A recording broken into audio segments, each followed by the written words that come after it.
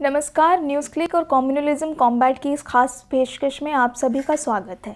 आज हमारे साथ मौजूद हैं वरिष्ठ पत्रकार ओम थानवी जी और हम इनसे बात करेंगे भारत के मौजूदा हालात के बारे में।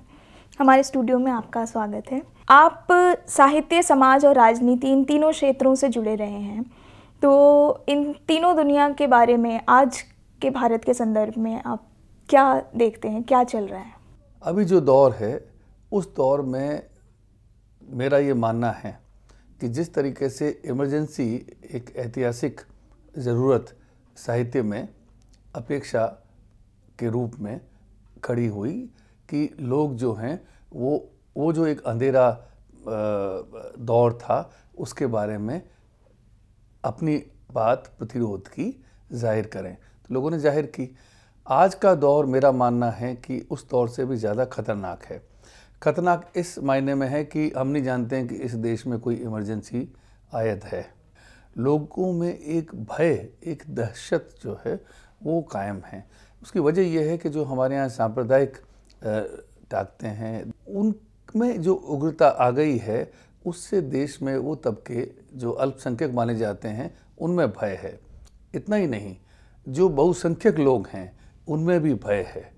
तो ऐसे दौर में साहित्य से समाज अपेक्षा करता है कि चाहे कितना ही कालजयी सरोकार साहित्य का हो, लेकिन तात्कालिक चीज़ें भी कई बार कालजयी रचनाएँ दे सकती हैं। मेरा मानना ये है कि अभी जो हमारा साहित्य जिस दौर से गुजर रहा है, उसमें इस दौर की छाया नज़र नहीं आती है, या हो सकता है कि हमें दिखाई नहीं देती है, और कभी बहुत बाद में लोग कहें कि हम लोग तो कुछ लिख रहे थे, सिर्फ़ एक पुरस्कार वापसी की घटना जो है वो काफ़ी नहीं है। मेरा मानना ये है कि रचना के क्षेत्र में जो प्रतिरोध है, उसको भी ज़रूर सामने आना चाहिए। समाज जो है, उसमें भी एक विरोध का जज्बा होना चाहिए। समाज हमारे यहाँ बर्दाश्त बहुत करता है और वो जो बर्दाश्त की है, वो उन ताकतों को ज़्यादा मज़बूत बनाती है, जो आतताई ताकतें होती हैं, ये समाज के बारे में मेरा कहना है। और तीसरा जो राजनीति के बारे में आपने कहा, उसके बारे में तो दुनिया जानती है कि हमारी जो राजनीति है, वो राजनीति काफ़ी ऐसे तत्वों से ओतप्रोत हो गई है, जो बहुत हिंसक स्वभाव के हैं और जो अल्पसंख्यक समुदाय जो हमारे देश में है एक बहुलतावादी समाज हमारे देश में बनाने की जो कोशिशें हैं वो उनसे खुश नहीं हैं। आप पत्रकार रहे उसके बाद आपने दशकों तक संपादन किया है। तो आपके हिसाब से भारत में आज पत्रकारिता की दशा क्या है? किस दौर से गुजर रही है?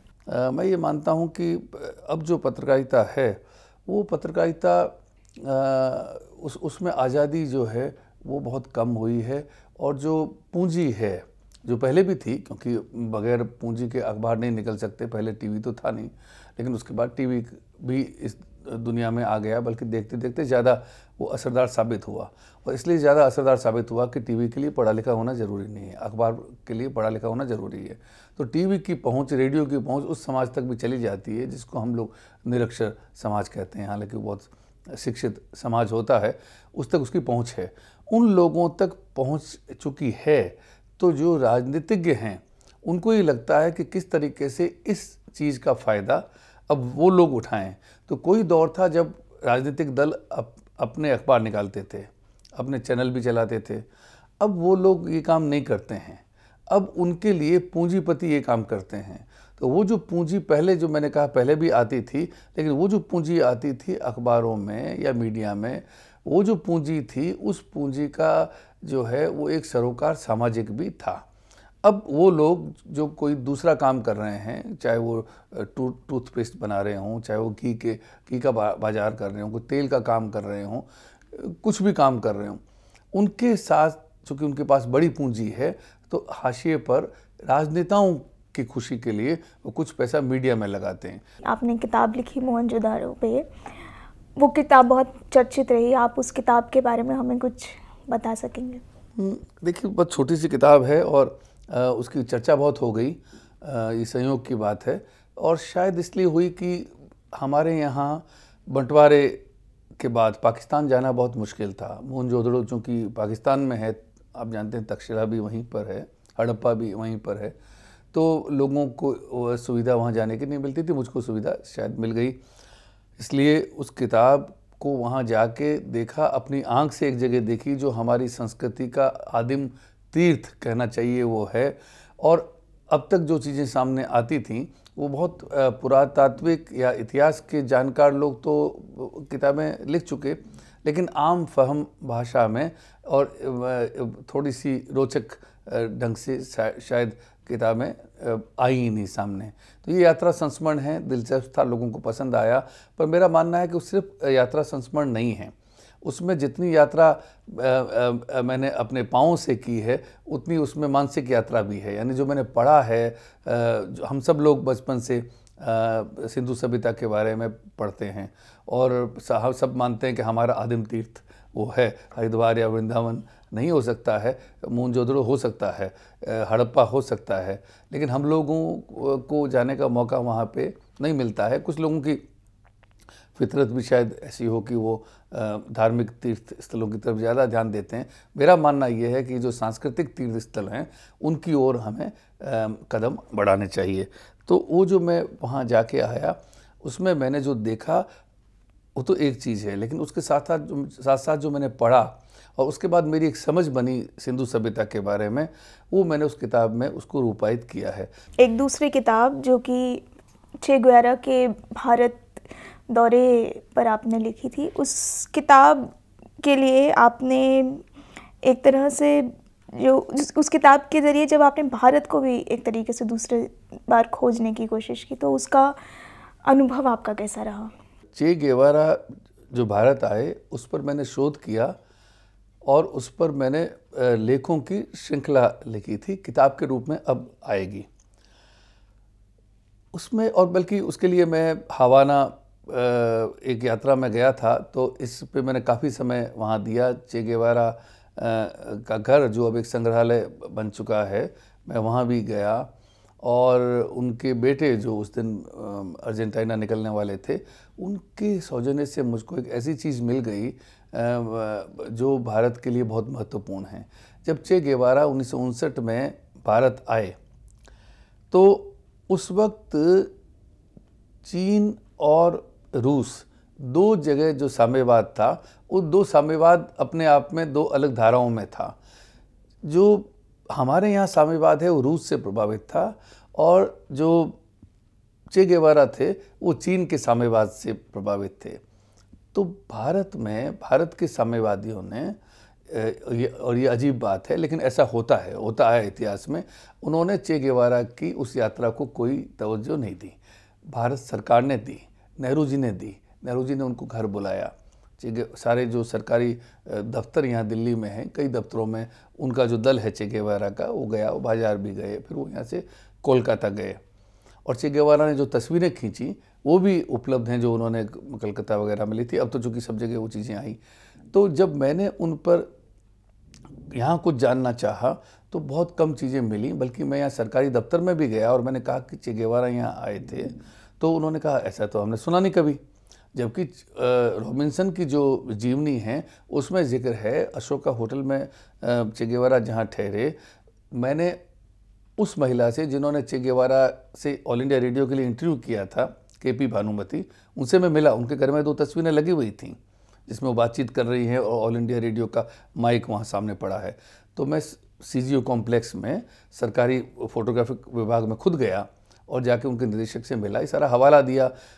और उनको मैंने कन्विंस तो किया और मैंने उस चिट्ठी का भी हवाला दिया जो मौजूद है जो अशोक होटल से उन्होंने अपनी माँ को लिखी थी दिल्ली से।